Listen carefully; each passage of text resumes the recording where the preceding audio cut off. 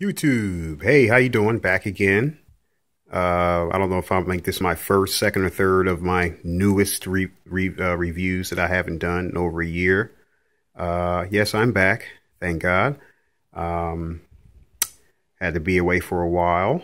Uh, new location, like I said. I had a house before, and I had to down downsize because I just had to, um, you know, save money. So I'm around the corner, guys. I had a nice big house at one point. I had it for so many years. So I basically, you know, decided to downsize and get rid of it. And I'm now down to a nice condo, large size condo.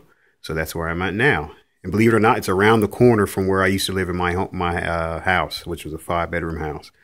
Um, so, you know, had to downsize and here I am. But anyway, guys, what you're looking at here is a very not rare, but a guitar that you didn't you you know if you see this guitar, if you guys know about guitars, you would think that this is the Sheena. Okay, first act made a Sheena guitar that was a I'm going to say a mid-level price guitar, which is actually a, a high price guitar in these days. Um, but this is not it. This is the first act ME501. Uh, they sold these in the stores like they sold all the other guitars, but this was their top of the line guitar that they sold through the stores. Um, and the, you know, up until maybe a few, up until a handful of years ago or so, they were putting these out in the stores. I'm not sure if they still sell this guitar or not, but if they don't, that's the reason why the price is, is going up on these guitars.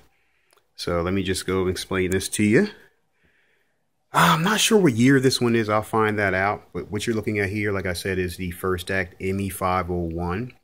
It looks a lot like a Sheena, which if, like I said, you guitar guys out there, you should know what the first act Sheena is. People or people who don't know guitar, guitars like that, or they don't know first act like that. First act makes professional guitars also for bands and groups that you would not know or you do know. Uh, first act is a large company American company that does a lot of awesome things, believe it or not. And this was one of the guitars that they said, okay, we're going to make a top guitar. We're going to give it this. We're going to, give it that. We're going to make this a really good guitar. Now, this guitar, I forgot what it sold for in the stores when you were able to find it. And a lot of people were catching on to this guitar when it came out. Uh, places like, I think even Walmart and places like, if I'm not mistaken, were selling this guitar. They didn't have a whole huge quantity of them. I think because the company knew that they were going to be this and that. Um, but this is basically a baby Sheena. Uh, if, if, people who know the Sheena, that's the uh, the Sheena. It's the first act CE 240. Um, that is the most sought after guitar, one of the most sought after guitars that you can get available from First Act, other than the ones that were specially made for you know sessions and etc. Um, so basically, what you get here is a binded up Alnico pickup, Alnico humbucker, uh, tulip almost style guitar. I mean, some of the tulip guitar from Teisco back in the day and all that, blah, blah, blah, whatever. But this here is a very nice guitar. I'm telling you guys, if you ever see this guitar anywhere, pick it up. And if someone doesn't know what they have, pick it up. Because these guitars now, the prices have gone up and the average price if you look on ebay if you look on etc if you look on um, uh, reverb etc all the different companies out there over whatever whoever has this guitar for sale used or, or, or not the average price for this guitar now is about $120 okay which eclipse which is you know some things do better after they're sold, you know, and they go up, they go down, like sports cars, and the other things go up and go down. Vehicles go up and go down. Well, mainly they go down. But this was one of those guitars that hit a mark with people when it came out.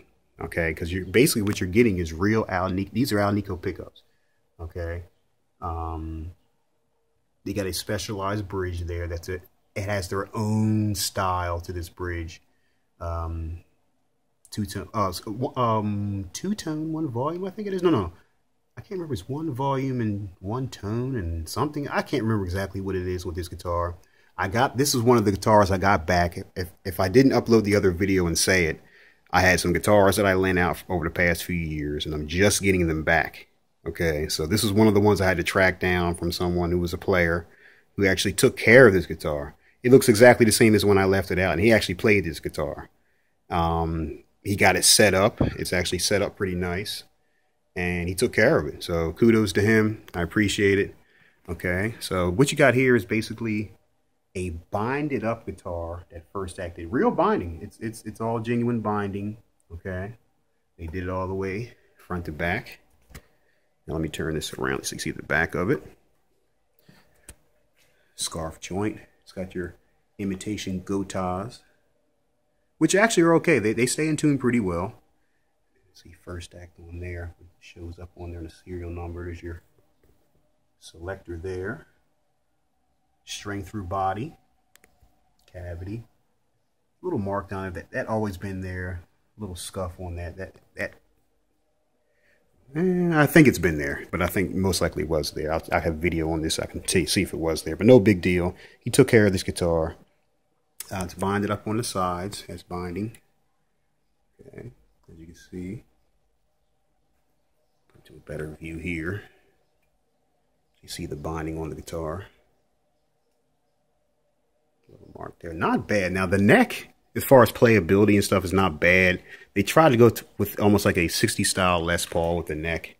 Gets a little chunky, not much, but you know, it's kind of weird. It gets a little chunky, then it doesn't. Tapers off a little bit.